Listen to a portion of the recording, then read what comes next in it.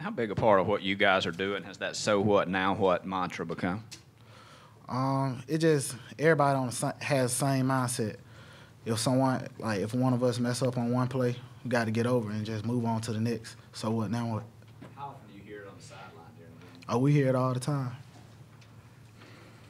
Mon, just take me through those two touchdown runs and kind of how wide did your eyes get when you saw those holes open up? And Um, the first one, my eyes got big. Um, I seen it open up. I had seen, um, I think it was Donell and who was Daley. D- no, Dal- Donell and um, Cory. They blocked um, defenders pretty good, and then I just got through the hole, tried to get skinny, and then tried to hit it. And the second one, um, it was a power play. Um, tight end did a good job picking up the um, the linebacker, and just scored.